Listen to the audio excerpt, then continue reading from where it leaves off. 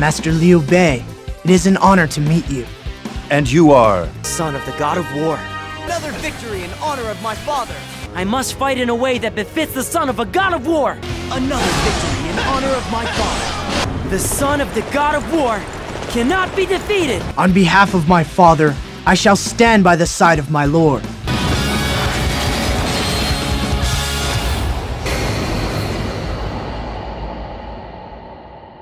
What's going on, guys? Welcome back to the uh, channel. Welcome back to the series where we're counting down the top Dynasty Warriors characters as of the latest game. Coming in at number 48, we have Guan Ping. Guan Ping is one of Guan Yu's son. He's actually his eldest child, making him the older brother of Guan Xing, Guan Suo, and Guan Yinping. He is given a minor mention in historical text, but Romance of the Three Kingdoms identifies him as Guan Yu's adopted son, who helped Liu Bei's conquest throughout Hanzhong.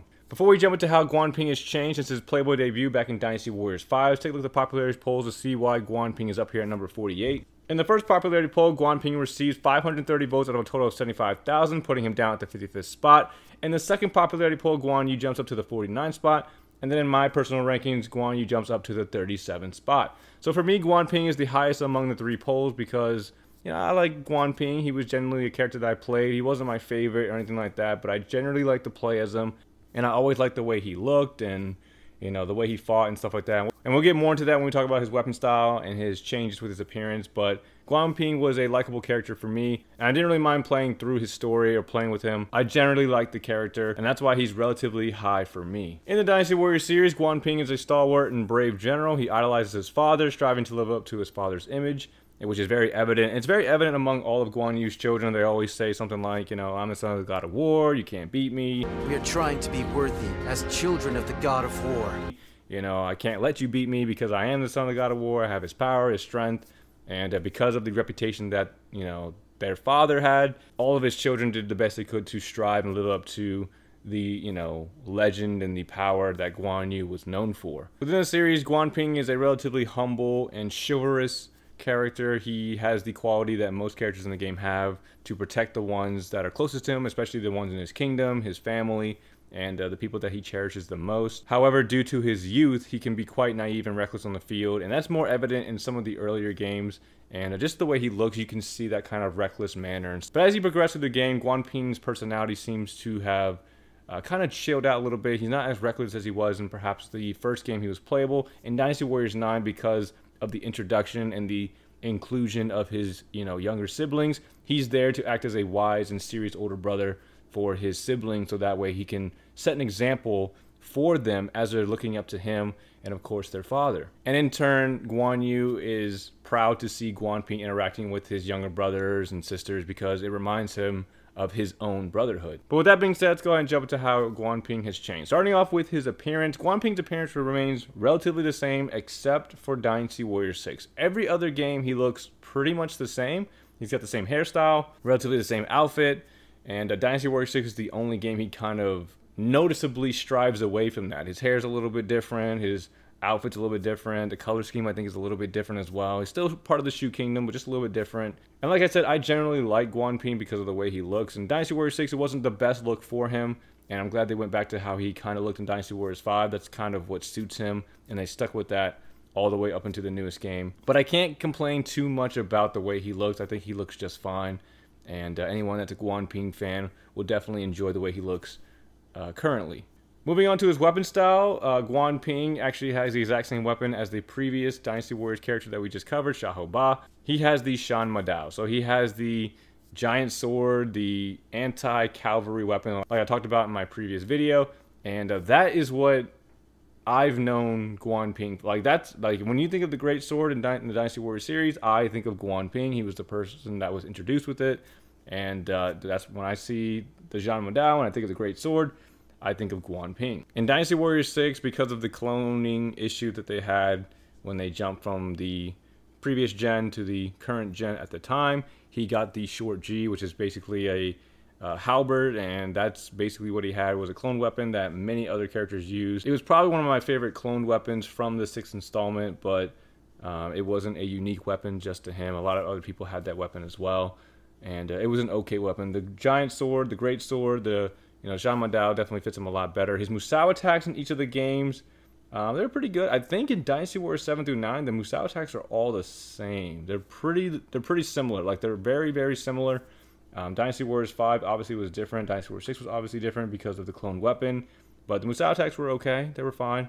Um, did a good amount of damage, and if I was ever in danger, I popped a Musou attack, got out of danger, and uh, it was a pretty standard Musou attack, nothing too crazy. And hopefully, moving forward in the newest game, they'll stick with the Great Sword for Guan Ping, because I believe it fits him pretty well. All right, moving on to his voice acting. Uh, Guan Ping's voice acting is pretty good. Can't complain too much about it. He's had two different voice actors. He's had one for Dynasty Warriors 5 through Dynasty Warriors 8, and then he's had a new one for Dynasty Warriors 9. Um, obviously, I'm more tailored and I guess biased towards the Dynasty Warriors 5 through 8 one because he was his voice actor for uh, three different games. I will stay here in the castle and keep the enemy occupied. But the voice acting in Dynasty Warriors 9 is just fine. I think it sounds relatively good for him. The plan to ensure that we stand as equals alongside the force of Cao Cao and Master Sun Quan? Do you really think we can do that? Yeah, especially with the change, not the change, but like the progression in his personality um, from the more reckless, like, you know, I'm going to do whatever it takes to, you know, win kind of thing to more of a leader and an example. You can see that throughout the Dynasty Warriors 9 um, story. You can see he's getting involved, trying to find ways to um, strategically help out Liu Bei or his dad, or help the kingdom get themselves in an advantageous position in order to, you know, secure a specific area, or just pushing for acquiring Liu Bei's vision, which was, you know, benevolence and virtue and uh, all that good stuff. But uh, fun fact about the voice actor from Dynasty Wars 5 through 8, uh, he actually voices Kagura from Boruto, Inosuke from Demon Slayer, and the biggest one is Eren Yeager from Attack on Titan. I did not know that Guan Ping was voiced by a legendary voice actor. But anyway, moving on to his uh, significant battles, his relationships with other officers, and his death. Let's start off with his relationships. The most significant relationships that he has among the Shu Kingdom, obviously he's going to have a very close relationship with his family, so Guan Yu has a very close relationship with Guan Xing, Guan Suo, and Guan Yinping. They're all family. They're all going to get along.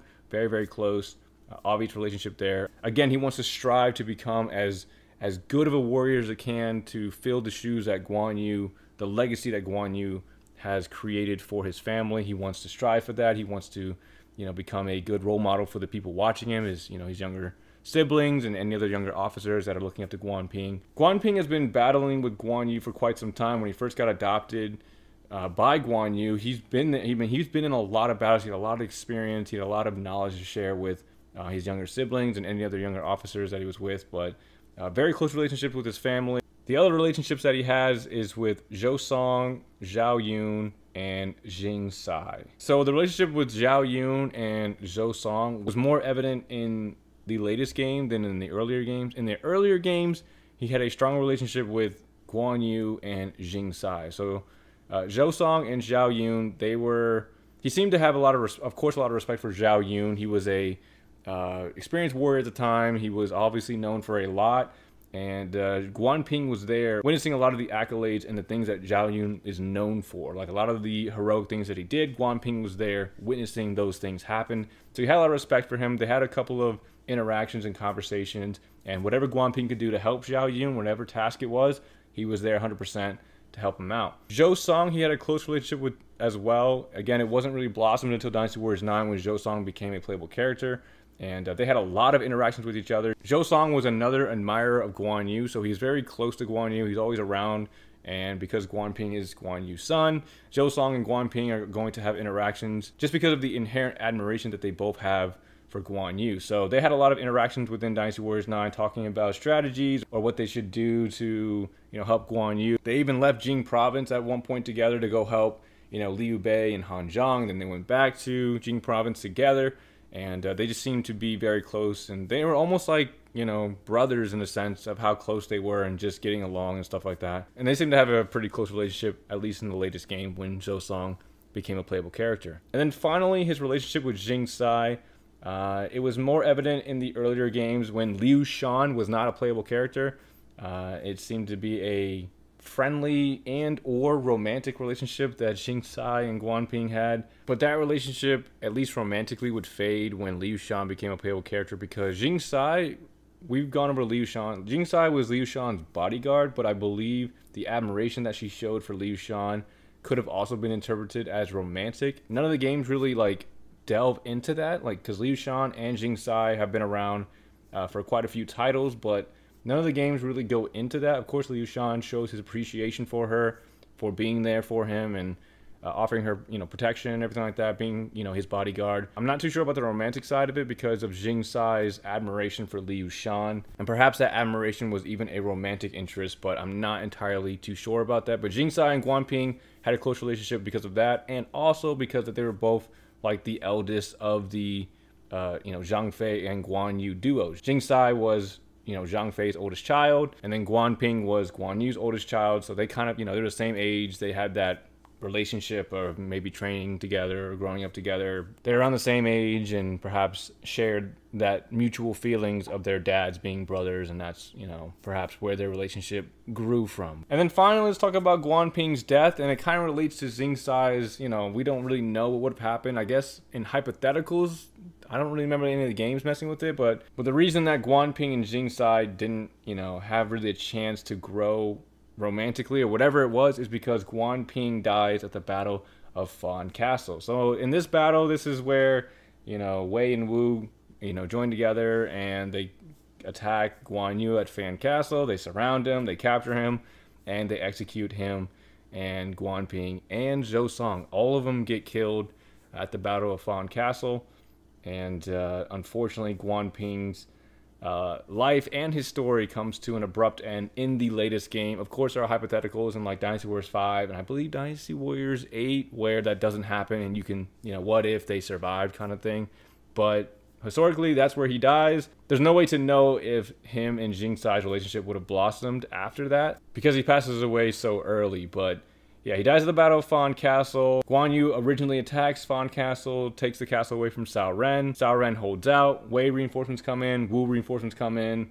You know, Guan Yu is blindsided. When we get to Guan Yu, we'll talk all more about that and, you know, the politics behind it and, and talk about why they were betrayed and, you know, the animosity that was growing up until that point. But unfortunately, that is the battle that Guan Ping passes away. He gets killed in. None of the games really show his death uh, explicitly. The, the Battle of Fan Castle is mainly like that's Guan Yu's you know shining moment. That's when he passes away. That's that's his death. So every game is really focused on Guan Yu being killed. And when we get to Guan Yu, we'll talk more about it. But Guan Ping doesn't have any explicit like death scenes where someone like duels him and he gets killed. But that is the battle he gets killed. It's implied that he's captured and executed, and um, that is the end of Guan Ping. But that's all I have for Guan Ping here and how he's changed. He's been in the games of Dynasty Warriors 5, gone through a couple of weapon changes, and he has appearance changed a little bit, but he's pretty much the same character he's been since the beginning of the, you know, his playable debut. And I like him as a character. He's not one of my favorites or anything, but he's definitely not like